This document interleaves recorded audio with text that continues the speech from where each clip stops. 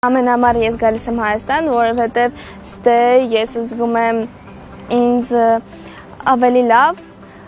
զգում եմ հպատություն ու ես հասկանում եմ, որ Հա, էսա իմը, էսա իմ հայրենիքը։ Հայրենիքի հանդեպ սերը Մոսկվայաբնակ Անիսա Ռուխանյանի մոտ դեռ մանկուց է ձևավորվել։ Այս անգամ Հայաստան է այցելել Քայլ դեպի տուն ծրագրին մասնակցելու նպատակով։ Ինձ այս ծրագրի մեջ դուր է եկել շփվել երեխեքի հետ, մանգալ իմանալ Հայաստանը ավելի լավ։ Իսպանիայից Հայաստան ժամանած 15-ամյա հրանտի ցանկությունն էլ ստացած գիտելիքը Հայաստանում ներդնելն է։ Որոշել է մասնագիտանալ տեղեկատվական տեխնոլոգիաների ոլորտում։ Ծրագիրը ոչ միայն առիթ էր հայրենի ընտանիքն ավելի լավ ճանաչելու, այլև այստեղ բնակվող ընտանիքի անդամներին եւ ընկերներին տեսնելու համար։ Շատ հետաքրքիր էր իմ համար, օրինակ, սա Հայաստանով ֆռալ տեսարժան վայրերը տեսնելը, մեկ է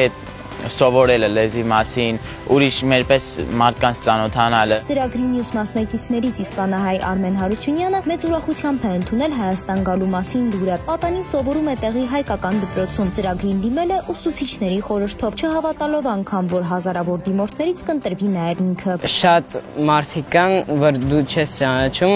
ու կարող ես նոր ընկերություն անես ամբողջ երկրից ու ամբողջ աշխարհից։ Ծրագրի ղեկավար Աննա Մհերյանի խոսքով երկշաբաթյա ծրագրին դիմել են շուրջ 25 երկրից։ Մասնակիցներն անցնում են հայոց լեզվի, հայրենագիտության ազգային երկու բարի դասընթացներ, այցելում պատմամշակութային վայրեր, թանգարաններ եւ կրթական հաստատություններ։ Յուրաքանչյուր տարի ունեցել ենք 4 400 հոգի, այս տարի աննախադեպ 600-ն են, հայտերը 1200 եւ ավելի են եղել Այս պահին արդեն ծրագրին 200-ից ավել մասնակից ենք ունեցել։ Այս տարի ծրագրի մասնակիցները 9 երկրից են։ Սփյուռքի գործերի գլխավոր հանձնակատարի գրասենյակի ուսումնաճանաչողական ծրագիրը իրականացվի 6 փուլով։ Վերջին փուլը կավարտվի օգոստոսի 26-ին։